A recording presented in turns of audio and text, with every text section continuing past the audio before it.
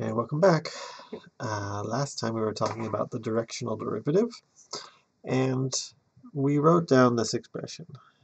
The directional derivative of f in the direction of the unit vector u is equal to f sub x times a plus f sub y times b.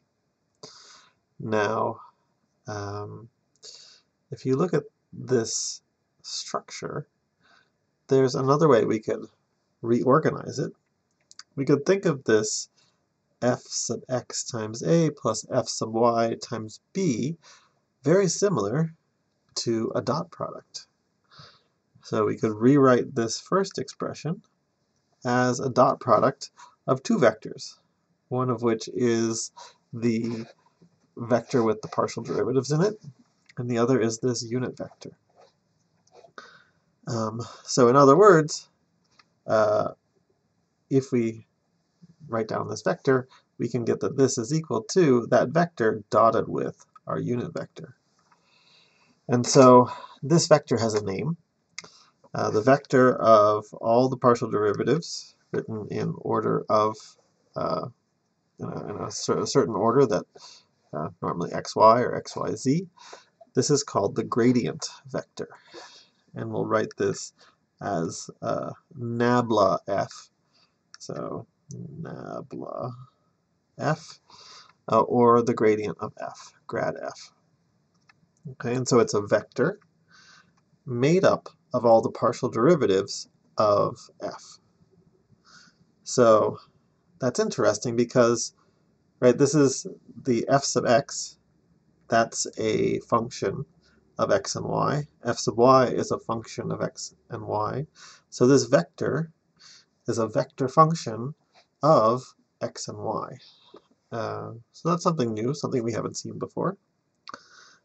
And so if we want to write this directional derivative, we can do that by taking the gradient and dotting it with the unit vector u.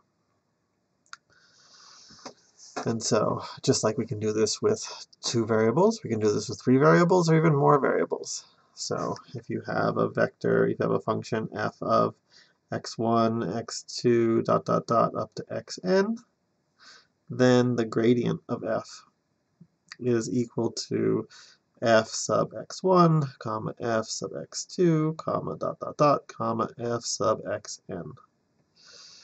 And then the directional derivative is what happens when you dot it with the direction, the unit direction in which you're going. So let's do an example. Let's find the directional derivative of a function. Here's x times sine of yz when we're given a point and we're given a direction at that point. So let's talk about the steps to approach this problem. All right, so the first thing is, what are we looking for? We want to calculate duf, which is the gradient of f dotted with the unit vector. So in order to do this, what do we need to do? We need to find a unit vector in the direction of v. We need to find the gradient, plug in our point 130, and take the dot product, and that's going to give us the uh, directional derivative. So what's our unit vector? we had v is equal to 1, 2, negative 1. So the unit vector is what happens when we take the v vector and divide by the length of the v vector. So the length of the v vector is square root of 1 squared plus 2 squared plus 1 squared or square root of 6. And then, so that means that u is equal to 1 over square root of 6 times 1 to negative 1. Um, in this instance, it's, it's going to be easier if we don't uh, actually multiply that out because it's a lot easier to multiply things out when you don't have square roots of things hanging around. Um, and so now we'll find the gradient. So the gradient is we need to calculate f sub x, comma f sub y, comma f sub z. And so this is a function, we need the derivative with respect to x. Well, in that case, the y and the z stay uh, constant. And so, hmm, and so what do we get? We get uh, x, derivative of x is 1, so we get sine of yz. Then we need to take the derivative with respect to y. Now x is a constant, and we're taking the sine of some constant times y. Well, x is a constant, we bring that out. The derivative of sine of something y is cosine of something y times the derivative of something y, which is just z. And then similarly, taking the derivative with respect to z gives us x times cosine of yz, but now we multiply by y because the derivative with respect to z of yz is just is y, because z, derivative of z is 1. All right, so now we also need to plug in our point, 1, 3, 0. What do we get? We get sine of 0, comma 1 times cosine of 0 times 0, comma 1 times cosine of 0 times 3, which is the vector 0, 0, 3.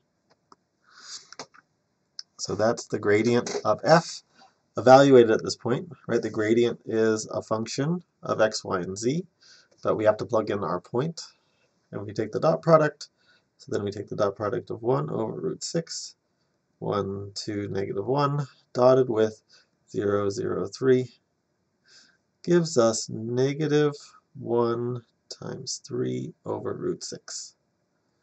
Right, the zeros, 1 times 0 plus 2 times 0 plus negative 1 times 3 gives us that. So what is this? So negative 3 over root 6 Root 6 is less than 3, so this is like 1, negative 1 point something.